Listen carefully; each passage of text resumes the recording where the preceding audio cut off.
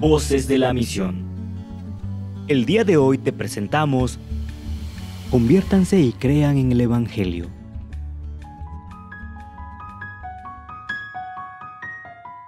Ordinariamente decimos que convertirse significa cambiar de mente. En el Nuevo Testamento, mente significa mucho más que pensamiento. En algunos otros textos puede significar también percepción, resolución, opinión. Entonces, cuando se habla de conversión, se incluye también el cambio en el modo de percibir, pero sobre todo de resolver las situaciones. En el Antiguo Testamento, pecar significa especialmente no dar en el blanco. Convertirse tiene un matiz de acertar, de tener puntería para lo bueno.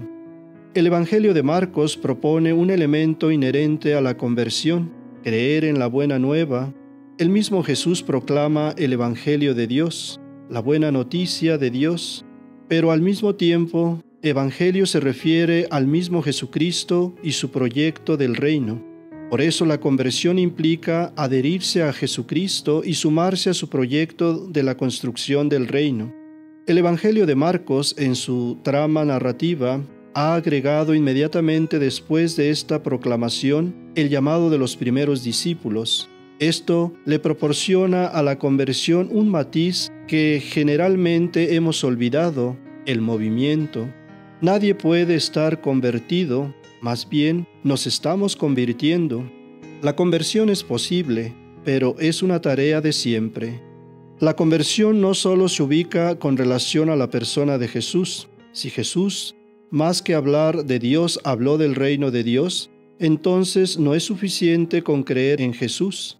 Debemos convencernos de lo que vivió, es decir, la conversión para que sea auténtica debe ubicarse en la dinámica del reino de Dios.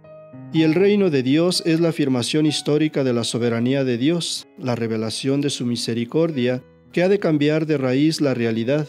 Es algo que se espera para un futuro cercano, pero que ya se está abriendo paso en la historia. El marco del reino de Dios ayuda a comprender que no a cualquier cambio de comportamiento se le puede llamar conversión.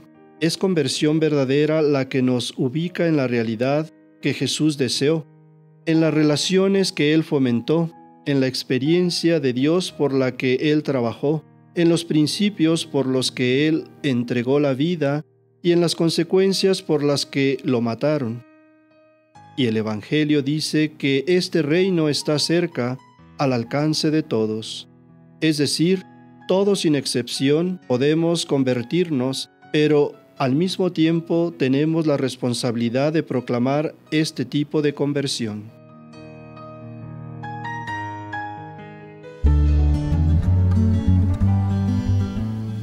Ompe México presentó Voces de la Misión la misión a la luz de la palabra.